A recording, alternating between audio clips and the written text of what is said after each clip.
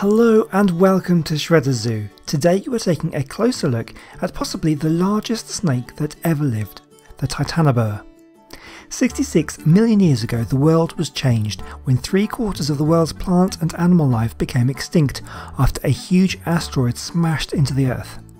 Large animals like the dinosaurs were one of the casualties. Over the next few million years, other creatures began to fill the ecological niches that were left vacant. The Titanoboa was one of the first reptiles to take advantage of this, arising around 5 million years after this devastating event. Fossils of the Titanoboa have been found in the Cerrejón Formation of Colombia in South America. The Cerrejón Formation represents the earliest known occurrence of neotropical rainforests, that's rainforests of Central and South America. During this time, Titanoboa would have lived and hunted in low-lying rainforests that contained an extensive system of rivers that crisscrossed over the landscape. In this swampy jungle, everything was hotter, wetter and bigger than it is today, and this may have held the key to Titanoboa's huge size. Reptiles are commonly thought to grow in accordance with the available ambient temperature of a climate. This is because higher temperatures that remain fairly constant throughout the year with very little seasonal variation allow ectothermic, that's cold-blooded animals, to maintain an optimum metabolism for longer. This means that bodily functions such as digestion, circulation and respiration, among others, all become far more efficient and a greater amount of energy can be set aside for other areas such as growth. Titanoboa is usually quoted to be between 13 and 15 metres in length. In comparison to modern snakes that are alive today, the largest snake by body weight is the green anaconda, which is credited as attaining a length just over 6.5 metres long. The largest snake by body length, however, is a reticulated python, which is credited as approaching 7 metres long for the largest individuals. The fossil site at Cerrejón also turned up other huge reptiles like the giant turtle Carbonemys and some of the largest crocodiles to have ever lived. These animals may well have been on the menu for Titanoboa. Most snakes tend to be generalists when it comes to food, eating whatever they can catch. It's been well documented that some snakes, like anacondas, will eat crocodiles, and so it seems likely that Titanoboa was no exception. Eating a Carbonemys may have been a bit trickier. The huge shell would make swallowing the giant turtle problematic, and digesting the bony shell would take a lot longer so while juveniles may have occasionally been food, it's likely that the Titanoboa would have hunted easier prey.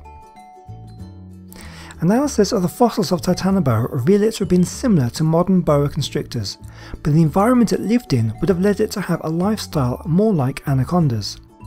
A water dweller comfortable in both swift moving rivers and swamps, it probably used the water to its advantage, remaining submerged and launching lightning fast ambush attacks. Because the bones in the skulls of snakes are not fused together like in other animals, when the snake dies the skull will often break apart, and because the bones are so fragile, they rarely fossilise. But with Titanoboa, due to the sheer size of the bones, they actually have a chance to fossilise. Indeed, in 2011, three skulls were found. This gave scientists some interesting new information. Fragments of jawbone suggested that Titanoboa's mouth and whole head could have been over 2 feet long. A quadrate, a hinge bone connecting the lower jaw to the skull, enabled the back of the lower jaw to extend behind Titanoboa's brain. Its mouth could open big and open wide. There was at least one inconsistency, however. By looking at the number of holes in the jawbone fragments, the researchers concluded that Titanoboa had more closely packed teeth than modern day boas. This could potentially mean that Titanoboa ate mainly fish. Having more teeth means it's easier to hold onto slippery fish, in the fossil remains at Cerrejón, there are fossil lungfish that measure up to 3 metres long that could have provided a decent meal for the huge snake. Titanoboa died out around the late Paleocene epoch, and while the exact reasons for this are unknown, a couple of theories have been put forward. The average global temperatures are thought to have been slowly declining around this time. As mentioned earlier, the high temperatures of the Titanoboa's time are thought to have allowed it to attain its huge size. Titanoboa may eventually have not been able to maintain their metabolisms due to the falling temperatures in their ecosystems, something which may have seen them replaced by smaller snakes that could still operate optimally in the lower temperatures. Other giant snakes such as Madtsoia and Gigantopophis in other parts of the world are known to have been around until the mid-Eocene period, roughly some 20 million years after the disappearance of Titanoboa. The presence of these snakes later in the fossil record proves that giant snakes did not vanish overnight.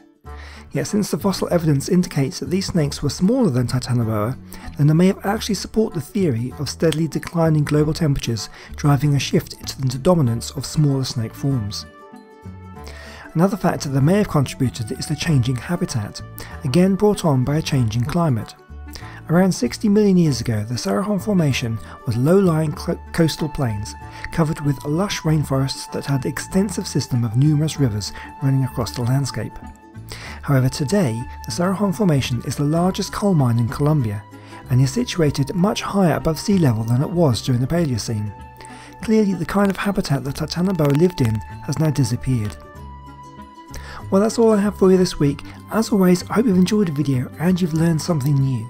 If you did, please let me know by leaving a like and a comment down below. And I hope to see you next time here at Shredder Zoo. Goodbye.